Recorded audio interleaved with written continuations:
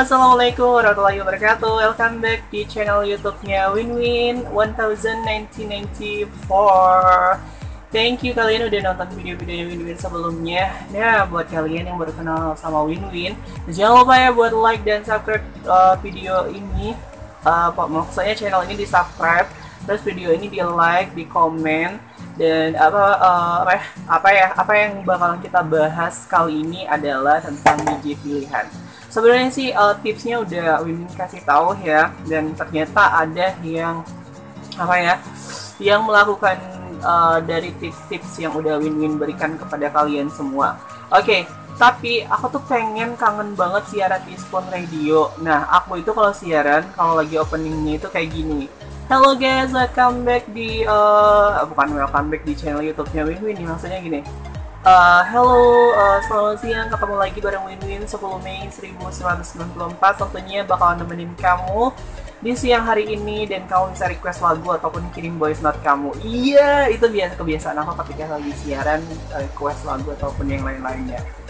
Oke, okay, um, kemarin tanggal berapa sih? Oh, tanggal 1. Pada tanggal 1 uh, bentar bentar Agustus Oktober eh sekarang Oktober ya pada tanggal 1 Oktober 2019 kemarin baru saja uh, digantikan DJ pilihan ataupun DJ choice. Gimana kalian yang terpilih? Congratulations. Semoga kalian bisa mempertahankan uh, konten-konten kalian di Smooth Radio juga dan semoga dari uh, kalian menjadi DJ pilihan dari Smooth Radio ini kalian bisa uh, apa ya uh, nggak ada yang nggak jadi. Takutnya apa ya ini jadi kita langsung bahas manfaat-manfaat dari Spon Radio. Oke? Okay? nah teman-teman uh, menurut kalian ya apa manfaat dari uh, Spon Radio? Eh bukan Spon Radio manfaat jadi DJ pilihan di Spon Radio. Pertama pertamanya menurut aku adalah apa ya teman-teman? Pertama adalah apa? Manfaatnya? Ya terkenal. Siapa sih yang nggak mau terkenal di Spoon Radio? Nggak ada yang nggak pengen terkenal di Spoon Radio. Menurut aku sih 99 orang di Spoon Radio itu pengen uh, dikenal pengen terkenal juga. Benar ya number one. Kayak di uh, calon sarjana apa pun hmm, gitulah pokoknya. Pertama itu adalah terkenal. Oke okay, fine terkenal. Nah sebenarnya orang-orang yang jadi DJ pilihan sendiri itu juga nggak nyangka kalau dia tuh jadi DJ pilihan teman-teman. Ada beberapa orang yang nggak nyangka dan ada beberapa orang yang yakin sekali bahwa mereka bakalan jadi DJ pilihan. Karena dari uh, listener dan dari uh, bass musiknya juga keren. Nah, kalian bisa lihat beberapa digicast yang kepilih itu banyak banget yang buka room uh, request musik ataupun musik yang uh, melo-melo. Kalian bisa lihat di situ tuh uh, dari bass dari cara uh, dia uh, apa ya dari cara musik bassnya itu sangat-sangat enak didengar, nggak cempreng, nggak uh, uh, nggak maksudnya ada beberapa room yang ketika kalian masuk itu musiknya sangat-sangat mengganggu telinga teman-teman semua kan. Dan aku tuh juga kayak uh, risih banget ketika ada room yang musiknya tuh cempreng banget. Bukan aku pengen ngatain kalian yang punya uh, apa ya musik yang cempreng. Nah kalau seandainya uh, kalian itu masuk di room kalian sendiri win-win yakin kalian bakalan nggak uh, nyaman masuk di room kalian sendiri karena musiknya.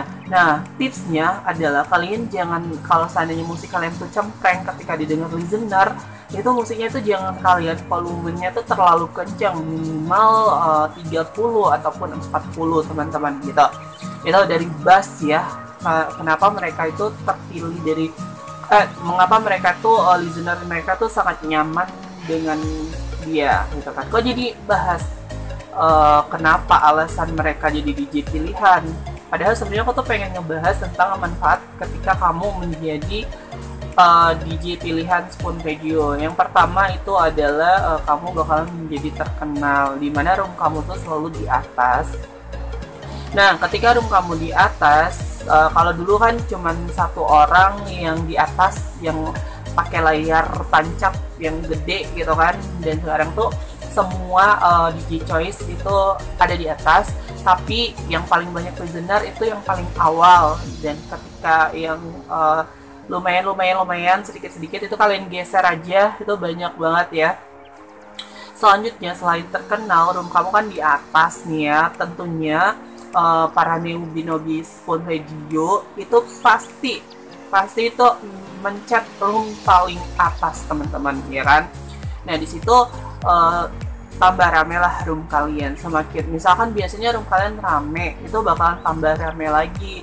Kecuali kecuali nih ya emang kalian itu uh, banyak saingan kan? Mana uh, di mana di jadi Spoon Radio ini tuh uh, apa ya roomnya itu banyak yang rame-rame. Dan kalian terakhir dan kemarin tuh aku sempet yang kaget sekali ketika ada salah satu DJ Spoon DJ pilihan itu uh, listenernya sedikit sekali. Uh, tapi ketika gue lihat emang sih dia tuh siaran hampir per jam beberapa kali gitu. Itu kan selain terkenal room kalian di atas room kalian tambah rame dan apalagi ya hmm, itu aja sih menurut gue manfaat dari menjadi DJ pilihan. Terus lagi uh, suatu kebahagiaan bahwa oh berarti Mimin milih aku ternyata uh, siaran aku tuh keren loh gitu kan. Ternyata iya. Pasti orang berpikiran wah keren dong. Dan banyak banget mungkin teman-teman kalian nggak suka oh kayaknya biasa-biasa aja sih pembahasannya gitu kan. Next. Nah banyak sekali orang-orang yang depresi ketika tidak terpilih sebagai DJ pilihan. Banyak. Aku juga ya dulu sempat uh, berada di posisi uh, kalian yang depresi tidak menjadi DJ pilihan ketika live hampir 24 jam. Ya, karena uh, live uh, siaran dua, selama 24 jam itu adalah uh, kita butuh uh, bukan butuh, kita tuh kayak ngebuang-buang waktu, tapi ngebuang waktunya itu dalam hal yang uh, ngobrol kan seru juga ngobrol bareng, tapi kalau terlalu kayak ngejar-ngejar popularitas itu juga nggak baik. Karena sempat kemarin teman-teman aku bukan ngejar popul popularitas ngejar gift tau nggak sih? Sapon Radio kan itu dapat uh, gift gitu dan bisa ditukar ditukarin seuang gitu. Jadi aku berpikirnya aku harus siaran setiap hari enggak 24 jam juga sih kayak DJ pilihan yang lain. Aku harus siaran selama 2 jam setiap hari nah aku tuh uh, sibuk gitu kan bukan ke sibuk ker dalam hal kerja sibuk ngurusin rumah gitu kan iya kan? Karena kalau aku nggak bersih bersih beres beres rumah dan sebagainya aku auto kena SP sama emak gue sendiri ya kan? Selesailah gue beres-beres dan segala macam pada pukul uh, sekitar pukul 11 kalau nggak 11 ya sekarang 12 baru selesai baru gue bisa syuting sekarang. Nah di situ setiap dua jam gue siaran. Gue ngejar-ngejar gift tiap hari gue siaran. Bahkan kadang kalau sempet sih malam gue tetap siaran. Nah ketika gue udah ngambil siaran uh, siang doang gitu kan kok gue pengen siaran malam juga sekali. Jadi sekali siang satu kali sehari siang satu kali semalam. Jadi dalam sehari itu dua kali.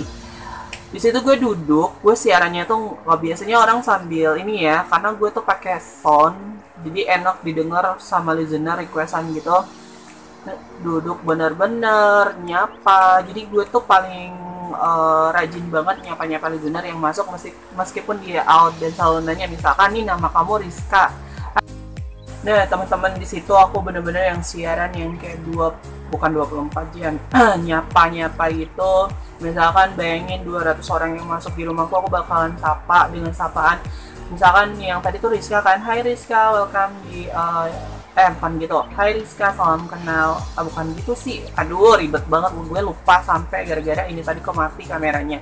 Hai Rizka um, welcome. Kamu stay mana? Nah di situ gue selalu nanya kayak gitu di situlah terjadi sebuah yang uh, sebuah kejadian yang sangat-sangat tidak saya suka.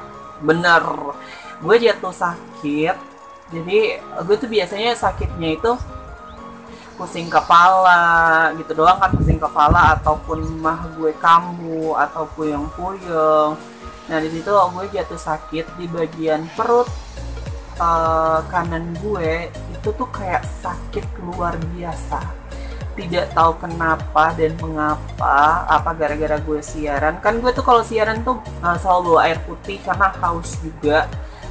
Di situ gue duduk uh, di kasur gue. Dan uh, beberapa hari kemudian gue tuh tiba-tiba uh, di setiap subuhnya setiap subuh uh, perut gue tuh selalu nyeri sakit luar biasa. Ketika pukul 3 itu gue langsung gue tahan dulu kata gue itu cuman sakit biasa. Dan gue turun uh, karena gue udah nggak sanggup nahan sakit ini gue turun uh, lihat um, ngetok-ngetok pintu kamar orang tua gue dan gue bilang sambil gue guling-gulingan di depan pintu itu uh, jerit-jerit kesakitan gitu sakit sakit pokoknya sakit luar biasa banget. Uh, dan akhirnya gue tuh nahan sakit dan di apa diurut-urut sama orang tua gue akhirnya hilang uh, gue tahan. Dan uh, beberapa seminggu satu eh, seminggu sekali uh, gue masih siaran dong. Gue tuh nggak tahu kalau penyebab itu mungkin karena gue kecapean siaran duduk lama gitu kan nggak sambil tiduran karena gue tuh pengen yang kayak konsisten dan gimana gimana gitu. Dan seminggu kemudian gue tuh kumat lagi penyakitnya itu sakit banget luar biasa berapa kali sampai bulan puasa tadi. Gue sa sampai batal puasa selama dua hari. Uh, berapa kali gue tuh udah berobat ke uh, klinik terus suntik ternyata nggak sembuh sama sekali. Gue banyak banget beli obat-obatan di apotek ternyata juga tidak sembuh. Dan akhirnya gue memutuskan untuk ke puskesmas tetapi tidak juga sembuh. Pada akhirnya uh, gue pergi ke salah satu uh, klinik jauh gitu kan dari sini dari tempat gue. Itu bulan puasa. Ya ampun itu bener-bener bulan puasa. Gue nggak puasa gue batalin. Dan gue sempet yang kayak uh, konsultasi sama bang Dis yang juga yang gue baru tahu dia juga perawat katanya itu tuh uh, usus buntu atau segala macam. Itu gue udah lupa chat-chat gue waktu gue sakit parah gitu. Dan gue tuh sangat-sangat pucat nahan sakit uh, duduk gitu kan. Antriannya panjang banget loh di situ tempat berobatnya ya ampun kata gue berarti di sini tuh mungkin sangat manjur ya dibanding gue di puskesmas kemarin sama sekali nggak diperiksa. Cuman ditanya-tanya dikasih obat banyak banget. Akhirnya ya udah deh gue nggak minum obat ini. Gue berobat lagi. Di situ ya ampun gue ngejar gip dan, uh, dan choice juga sampai sakit. Gue rugi besar dong banyak pengeluaran di situ gue sakit. Akhirnya ya ampun ya udah deh gue nggak bakalan yang kayak uh, pengen uh, bener-bener kayak serius nge-live. Ya udah sih kalau nggak uh, ngobrol doang gitu kan kalau seandainya itu. Gue pas sakit kemarin nyempet nyempetin nge-live juga anjir pokoknya gitulah. Itu pengalaman dari win-win ya semoga kalian gak sampai uh, sakit juga nggak sampai depresi atau sampai gila gara-gara ngejar DJ Choice ini. Mudah-mudahan ya karena Iya, setiap orang pasti pengen. Nah, teman-teman, segitu aja ya video dari ini. Sebenarnya banyak banget yang ingin ingin ceritain, tapi uh, bakal ingin ceritain pokoknya selanjutnya nanti ya, karena insya Allah kalau seandainya ini masih diberi umur, diberikan kesehatan, insya Allah bakal cerita cerita banyak ke kalian. Oke, segitu aja. Semoga bermanfaat uh, teruslah berkonten positif di Spon Radio terus lagi semangat ya walaupun kalian gak choice tapi kalian harus mencari sahabat yang baik. Bye bye